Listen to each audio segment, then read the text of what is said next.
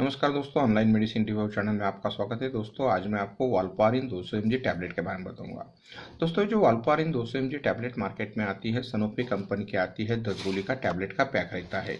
दोस्तों, ये जो दस गोली का टैबलेट का पैक मार्केट में आता है, उसकी कीमत रहती है thirty two rupees and fifty nine paisa बत्तीस रुपये उनसठ पैसे।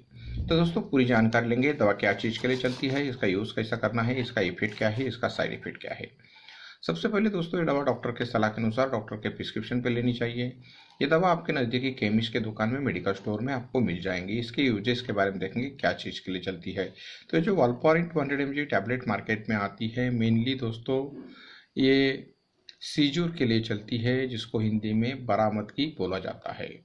तो दोस्तों, सीजूर की वजह से आपको जो शिकायत है उससे छुटकारा पाने के लिए दवा दी जाती है। Also useful in the mental mood condition तो दोस्तों, आपको कुछ मेंटल मूड कंडीशन है, उससे छुटकारा पाने के लिए भी दवा ये यूज़ की जाती है।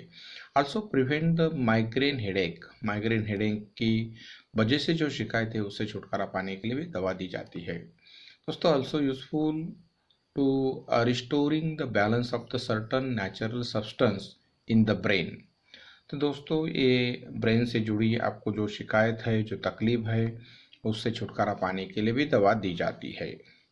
दोस्तों बढ़िया कॉम्बिनेशन कंपनी की आई इसके कंटेंट के बारे में देखेंगे, क्या कंटेंट कंपनी ने इसके अंदर डाले है। दोस्तों, इसके अंदर sodium valproate two hundred M single content है सिंगल इंग्रेडिएंट है दोस्तों। इसके साइड इफ़ेक्ट के बारे में देखेंगे दवा से आपको क्या दुष्परिणाम हो सकते हैं। दोस्तों ये दवा की वजह से आपको नौसिया की शिकायत हो सकती है, वोमिटिंग की शिकायत हो सकती है, डायरिया की शिकायत हो सकती है।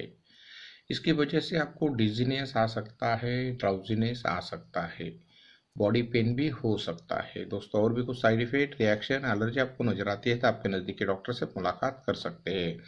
इसके डोसेस के बारे में देखेंगे, कैसा लेना है, कैसा यूज़ करना है। जनरली दोस्तों, इसको one time in a day दिन में से एक बार लेना चाहिए। डोसेस के लिए आप अपने डॉक्टर का भी सलाह ले सकते हैं। तो बढ़िया प्रोडक्ट है दोस्तों, जैसे भी आपको शिकायत है, तकलीफ़ है डॉक्टर के सलाह के अनुसार इसका इस्तेमाल आप कर सकते हैं। ऐसे ही आने वाले बहुत से प्रोडक्ट के बारे में मैं आपको जानकारी देते रहूँगा। इसलिए आप मेरे चैनल को लाइक कीजिए शेयर कीजिए please subscribe my channel thank you for watching my video